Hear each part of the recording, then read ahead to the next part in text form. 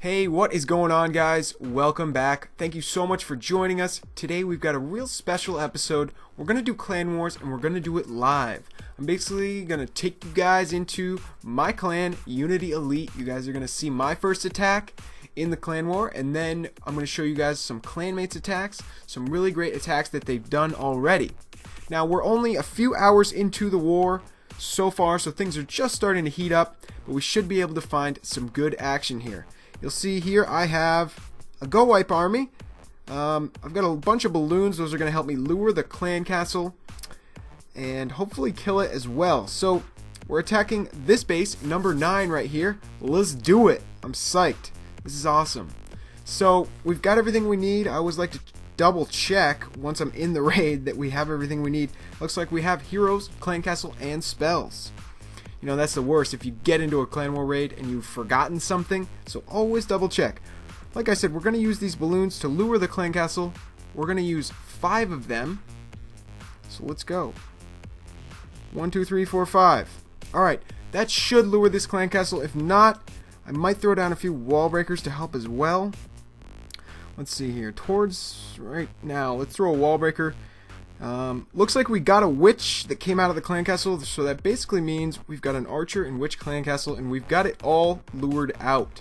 So let's get this clan castle up top here, and we'll take it out, hopefully, with this one balloon that we've saved. This is a good trick to do, guys, if you're up against ground troops in the clan castle, and you have a balloon, you can just, let's see, hopefully this will work. You want to drop this balloon right in front of these troops, that balloon will target the next... Yes, it worked! Ooh, I wasn't sure if it was going to work. I mean, I've done it before, but you never know. Sometimes it just doesn't quite hit them. So, we're going to start up at the top here. My troops just have to take out that witch, and then they're done. So let's get going. We're going to drop wizards behind these golems to start taking out buildings. We want to uh, have everything taken out so our troops don't get distracted. Right now, we've got to get in this base and take out this archer queen real quick. Looks like our troops are going straight in. That's good. Got to keep this uh, single Inferno frozen. It's not a huge threat, especially if I keep it frozen. It won't be a problem at all. We're looking real good right now. I'm not sure if we're going to break open the core or not. Looks like we didn't. Oh, we did. So we won't need the jump to get into the core. We may just save it to get out of the core. That's always the better way to use it.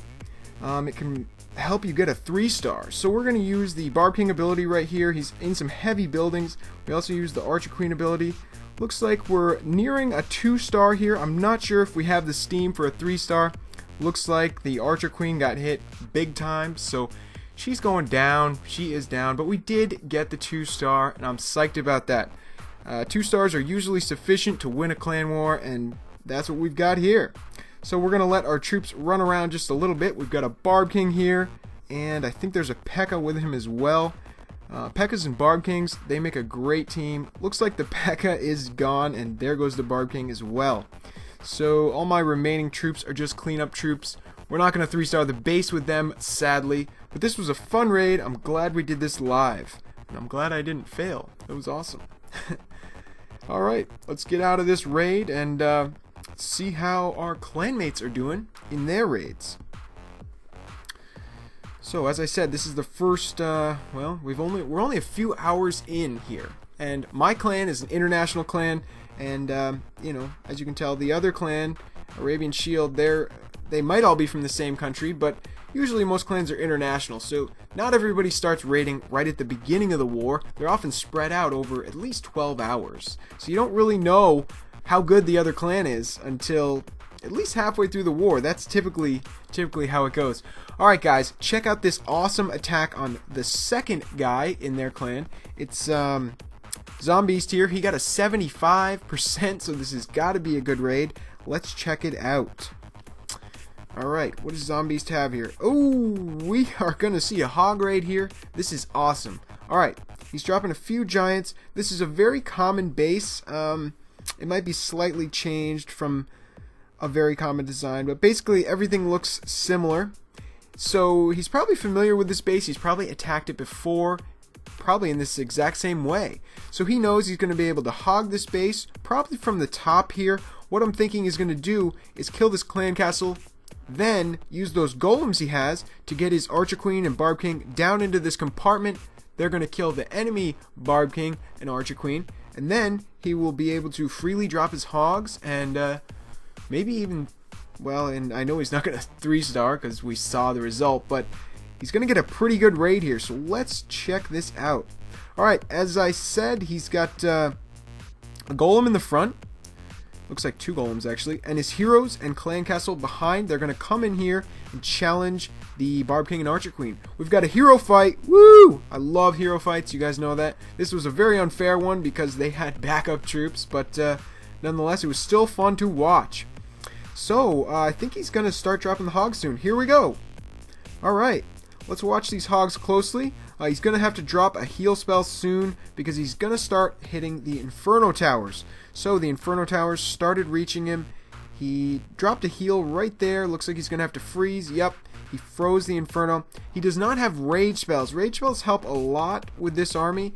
They would help his hogs get through that core faster, but he's opted to just use heal spells. That's cool. Uh, it's up to him. Looks seems to be working really well. He's taken out both Infernos already. This is awesome. Oh, he almost went down right there on a bomb. Looks like he has no heal spells left, so his hogs basically down for the count right now. Oh, he has a little group left here, but they're not going to do a whole lot. Looks like only a few. Let's see what they can do. He does still have a half health on an Archer Queen. That's pretty good for a level 40 Archer Queen. She can do quite a bit on her own. So the last hog just went down. Um, Archer Queen has taken out the last few buildings. Let's look here. Oh my, he only has one defense left. This is crazy. He took out the whole base except for one defense and then a bunch of other random buildings. I did not realize he was this close uh, as I was watching the raid. I guess this base is definitely weak to this style of attack. There was a lot of the defenses up in this top compartment here. And uh, his heroes took most of them out. So after that, the Hogs just had to take out the core and a few other things. Bummer, 75%, so close to a 3-star. But really, he was he was quite a ways away. He would have had to take out that last defense, and uh, then he wouldn't have had enough time to actually get all the buildings. But uh, great attack, zombies. You did a great job there. It was an excellent try. Looks like he did have a raid spell. I just didn't see him place that. But um, yeah, that was a great raid. I was real psyched to show you guys that. That's awesome. Alright, let's uh, check out what else we can find. I think we'll see some other good two stars here. Who's that? Uh, that's B-Ball. That is uh, Ron. Beaker, we already saw him. JG.